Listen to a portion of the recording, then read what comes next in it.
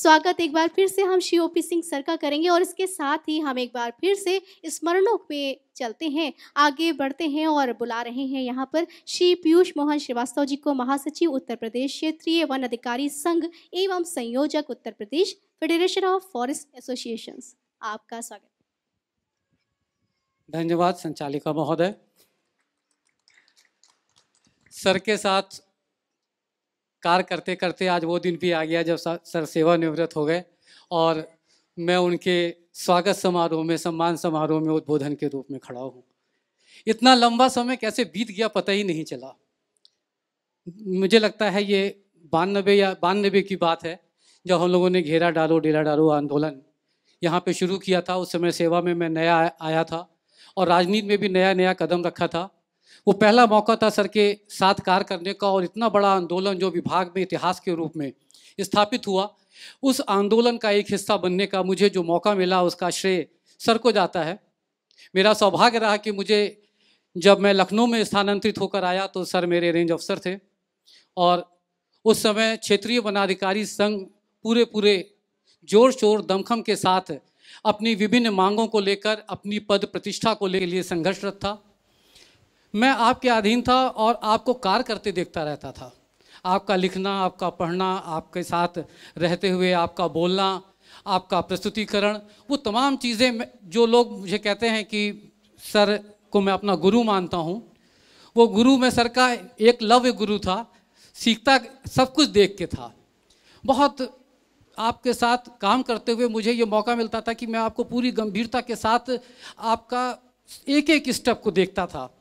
और मुझे लगता है जो सहायक वन कर्मचारी संघ के नेतृत्व में मुझे अपने संघ के साथियों के साथ जो सहयोग मिला, लेकिन उसमें एक बहुत बड़ा जो रीज़न था, वो सर के साथ जो मुझे काम करने का मौका मिला, मुझे सीखने का मौका मिला आपसे, वो मैं समझता हूँ कि सबसे बड़ी उपलब्धि मेरी सफलता के पीछे थी कि सर के साथ मैंने काम किया और उनके नेतृत्व में उन संघर्षों को देखा जो विभाग में इतिहास के रूप में स्थापित हुए।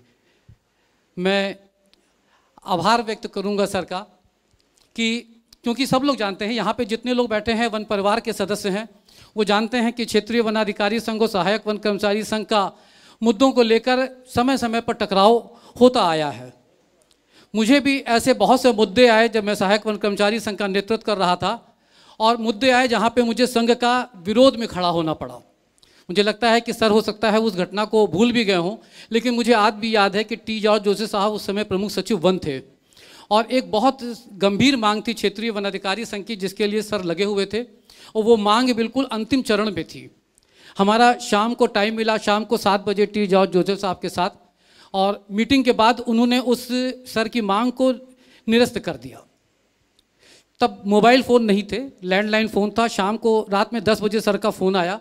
सर को जब जैसे ही मालूम हुआ, उन्होंने फ़ोन करके मुझे बधाई दिया।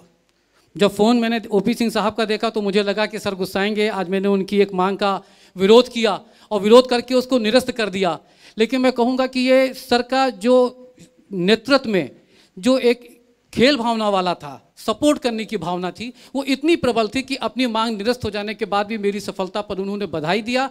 और जो मेरे दिल में एक हमेशा डर था कि सर मतलब उस बात को मुझे बधाई दे रहे हैं, लेकिन कहीं दिल के किसी कोने में ये बात ना रह जाए।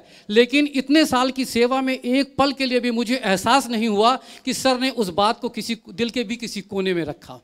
आज जो नेतृत्व हम लोग देख रहे हैं, जिस प्रकार के साथ ये मेरा सौभाग्य कहें या दौर्भाग्य कहें कि जिनके साथ मैंने नेतृत्व शुरू किया, जिलेदार सिंह जी का नाम लिया ए के सिंह जी का नाम लिया, दान सिंह जी, उमेश तिवारी जी, वो तमाम शिवराम सिंह चौहान जी, सब लोग रिटायर हो गए धीरे धीरे करके। ओ पी सिंह साहब का भी समय आ गया। वो लेकिन वो जो समकालीन नेता थे, उनमें मैं देखता था कि आपस में जो सद्भाव था तमाम विरोधों के बीच में जो हम लोगों का एक कॉमन वे पे कॉमन पॉइंट पे, जिस प्रकार से हम लोग एकता के साथ खड़े होते थे, उसका अभाव धीरे धीरे मैं विभिन्न संगठनों में देख रहा हूँ। आज मैं देखता हूँ कि आप किसी मांग की, अगर संगठन के स्तर पर किसी मांग की आलोचना कर दें तो वो व्यक्तिगत दुश्मनी का कारण बन जाती है। लेकिन सर ने जो जो यहाँ पे आदर्श स्थापित किए वो आदर्श ये स्थापित किया था कि हम सारे लोग अपने अपने संघों का काम करते हैं। मुझसे हमेशा कहते थे कि पीयूष तुम पद पे आने के लिए कुछ भी कर लो, लेकिन पद पर बैठने के बाद ईमानदारी से काम करना। सोच में ईमानदारी होनी चाहिए, तुम्हारे लक्ष्य में ईमानदारी होनी चाहिए और उस लक्ष्य को प्राप्त करने के लिए ईमानदारी होनी चाहिए। और मैं मैं समझता हूँ कि मेरी सफलता के पीछे ये बहुत बड़ा कारण रहा कि मेरी सोच में मेरे, मेरे पास जो साहस रहा वो ईमानदारी का साहस रहा और वो साहस सर से ही मुझे प्राप्त हुआ हमेशा। आज जैसे अमित ने कहा, मैं अमित को भी हमेशा यही सिखाता हूँ, जो मैंने सर से सीखा कि संघ में अगर ईमानदारी रखोगे, शेष में ईमान, अपनी सोच में ईमानदारी रखोगे, लक्ष्य की प्राप्ति में ईमानदारी रखोगे तो निश्चित रूप से सफलता आएगी और हमेशा आत्मबल का जो तुम्हारा आत्मविश्वास है, वो हमेशा आत्मबल के साथ तुम्हारे साथ खड़ा रहेगा। ये तमाम चीज़ें छोटी छोटी बातें, जो सर से हम लोगों को सीखने को मिली। आज मैं क्षेत्रीय वनाधिकारी संघ का महासचिव हूँ। वो तमाम सुविधाएँ, जो आज हम लोग जिसका उपभोग कर रहे हैं, उन तमाम जो हमारे प्रतिष्ठा है, जो हमारा सम्मान है पद का, जो हमारे, जो ताकत है, वो तमाम सर की दी हुई है। हमको प्रशासनिक पावर हो, चाहे फॉरेस्टर के करेक्टर रोल लिखने की, हमको प्रशासनिक पावर हो, चाहे अपने नीचे अधीनस्थ कर्मचारियों को छुट्टी देने की, हमको राजपत्रित का प्रतिष्ठा प्राप्त हो, हमको गस्टेड की प्रतिष्ठा प्राप्त हो, हमको जो वेतनमान प्राप्त हैं, हमको जो अधिकार प्राप्त हैं, हमारी शासन स्तर से तैनाती, हमारी प्रमुख वन संरक्षक स्तर से हमारे निलंबन की कार्रवाई, ये तमाम छोटे छोटे जो आपके रेंजर एसोसिएशन के अध्यक्ष बनने से पूर्व जो हमारे रेंज अफसर फेस करते थे उन तमाम चीज़ों को निपटाते हुए जब हम लोग पहुँचे हैं तो आज इस पद की प्रतिष्ठा के साथ पहुँचे हैं और वो जो तमाम चीज़ें का उपभोग क्षेत्रीय वनाधिकारी संघ कर रहा है तो ये मैंने जो ये सम्मान समारोह का ये रखा ही इसीलिए है आपको उन तमाम उपलब्धियों के लिए आभार व्यक्त करने का। बहुत बहुत आभार आपका बहुत बहुत इसके लिए धन्यवाद क्षेत्रीय वनाधिकारी संघ की ओर से कि आपने हमको ये पद पर ये जो प्रतिष्ठा प्राप्त करी। आगे जो आपने काम छोड़े हैं उसको ईमानदारी से मैं आगे की ओर ले जाऊँगा, क्योंकि आज की डेट में उन समकालीन नेताओं में मैं बचा हूँ। फेडरेशन ऑफ़ फॉरेस्ट की एसोसिएशन की एकता के लिए आपने काम किया, इसके संस्थापक रहे। आज हम लोग जो मंच पे बैठे हुए हैं, ये सारे लोग फेडरेशन ऑफ़ फॉरेस्ट एसोसिएशन के पदाधिकारी हैं। मैं आप तक की तरफ़ से फेडरेशन ऑफ़ फॉरेस्ट एसोसिएशन के संयोजक की ओर से आपको ये विश्वास दिलाना चाहूँगा कि जो एकता आपने फॉरेस्ट के विभान विभिन्न संगठनों के बीच स्थापित किया। उस एकता को बनाए रखने के लिए हम लोग पूरी ईमानदारी के साथ, एकता के साथ लगे रहेंगे। साथ ही मैं कहूँगा, मैम को भी मैम को मुझे बहुत क्योंकि मैं उस समय बानबे में बहुत कम एज का था, बराबर सर के घर आता जाता था। आज मुझे लगता है कि 25-26 साल हो गए उस बात को, हमको सर के परिवार से जुड़े हुए। मैंने देखा सर की शायद अभी छोटी थोड़ी देर पहले बेटियाँ भी थीं, जिनको बहुत छोटे में मैंने देखा था। वो तमाम लोग बड़े हो गए समय के साथ में। तो ये जो पल हमने बिताए, मैं कहूँगा कि बहुत तेज़ों से ये समय भाग गया। मैम का भी आभार, क्योंकि इन उपलब्धियों के पीछे कहीं ना कहीं आपकी ताकत थी, आप उन उपलब्धियों के बीच थी। एक बात और कहूँगा कि हम लोग जो फॉरेस्ट की सर्विसेज़ करते हैं तो हिंदू मैथोलॉजी में हम लोगों की उम्र को चार भागों में बांटा गया है। पहला बाल्यकाल, फिर गृहस्थ, फिर वानप्रस्थ, फिर संन्यास लेकिन वन विभाग में मैं कहूँगा दुर्भाग्य है, यह सौभाग्य कि हम लोग बाल्यकाल के बाद सीधे वानप्रस्थ में आ जाते हैं और गृहस्थ आश्रम हमारा रिटायरमेंट के बाद शुरू होता है।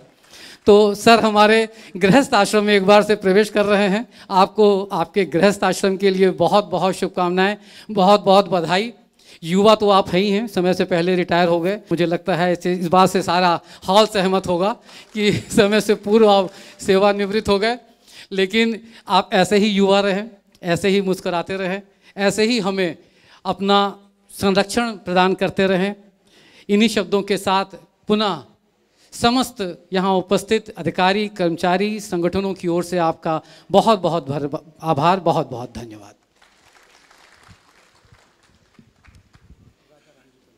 श्री पीयूष मोहन श्रीवास्तव जी का बहुत बहुत धन्यवाद कि आपने श्री ओपी सिंह सर के उत्कृष्ट कार्य के लिए और साथ ही तमाम ऐसे स्मरण जो आपने सबके बीच साझा किए, उनके नेतृत्व के बारे में बताए।